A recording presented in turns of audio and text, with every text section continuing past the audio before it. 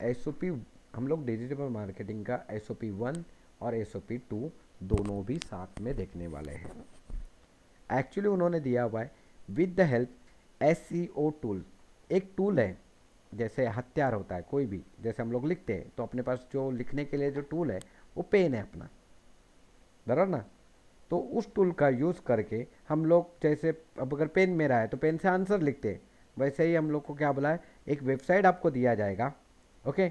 ये टूल आपको freely available है ऑप्टोमाइज करने के लिए। ऑप्टोमाइजेशन मतलब क्या होता है? उसका मतलब होता है उसका ऑडिट करना वेबसाइट का। तो वेबसाइट आपको टीचर और एग्ज़ामर आपको प्रोवाइड करेगा। कौन सा भी वेबसाइट जैसे कि मैंने, मानो, मैंने डिसाइड किया, इसका ऑप्टोमाइज करने के लिए मैं डिसाइड करता हूँ कि एक वेबसाइट लेते हम लोग यूट्यूब डॉट कॉम अगर उसका होता रहेगा तो उसका। नहीं तो मैंने बोला कि हमें नॉर्मल मालूम है फेसबुक डॉट कॉम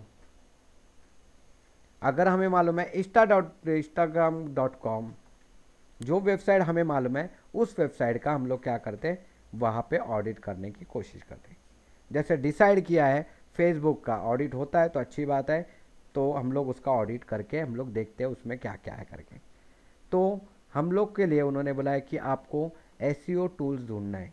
तो सबसे पहले आप अगर बुक आपके हाथ में है तो यहाँ पे सबसे एंड में दिया हुआ है ऑप्टिमाइज टूल के नाम अलग अलग कंपनी के नाम दिए उन्होंने, यहाँ पे रहेंगे, यहाँ पे यहाँ पे नोट करके लिखा है, देखो एस ओ पी फोर के बाद में लिखा हुआ एक नोट है पेज के अंदर ही, वहाँ पे दिया हुआ है फ्रीली जो वेबसाइट नाम है, वो है W W S C O optimizer dot com या तो एच डबल टी पी उन्होंने उल रैक रैंक डॉट कॉम करके दिया हुआ है, ठीक है? और आगे दिया हुआ है S site SketchUp dot com ये कोई भी एक वेबसाइट ओपन करेंगे हम लोग और उस वेबसाइट का क्या करेंगे? ऑप्टिमाइज करने के लिए कोशिश करेंगे। मैं इंटरनेट में आ गया, मैं अभी तक बात ही कर रहा था, मैं इंटरनेट में आ गया।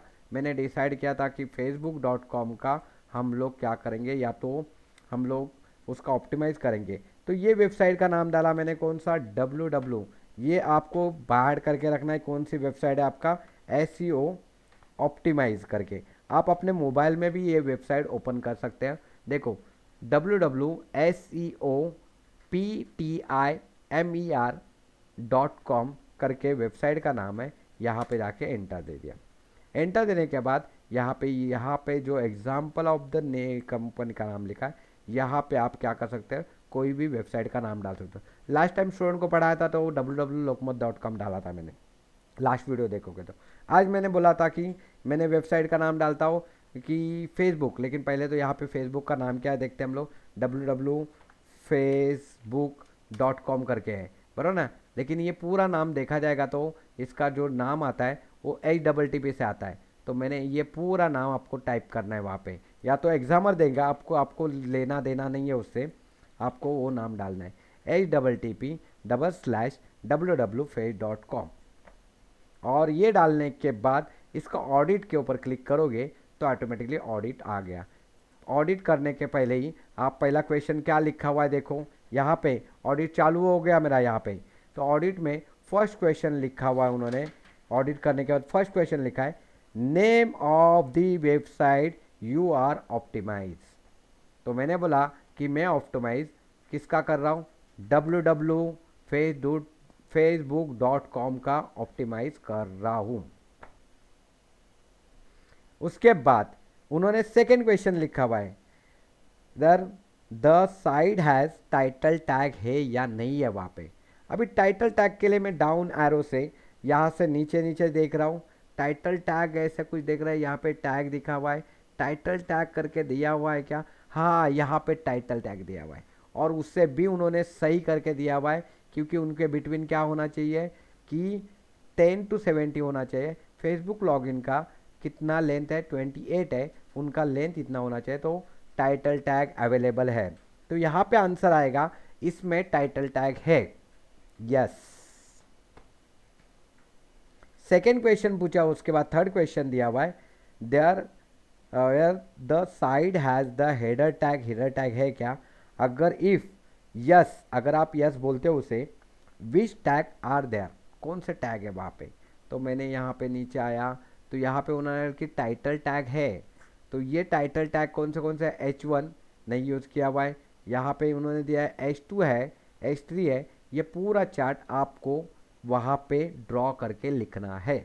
जैसे आपने जब भी मुझे बुक सबमिट किया था, वहाँ पे भी एच वन वन करके लिखा था एच थ्री ये सब कुछ लिखा था एज इट इज़ आपको वैसे ही चार्ट बना के थर्ड क्वेश्चन का आंसर देना है।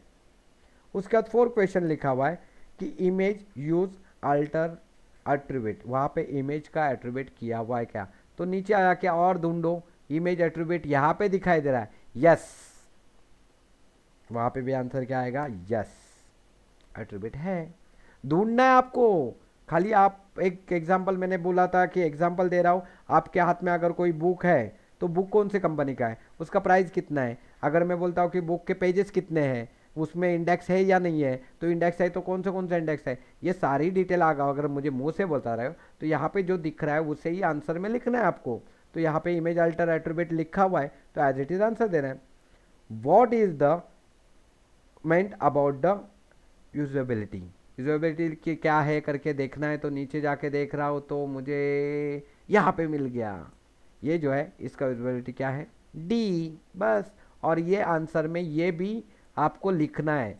Your your page is okay but could be the more usability cross the device तो ये सारा क्वेश्चन के आंसर लिख के आपको सबमिट करना है। हो गया आपका S O P one complete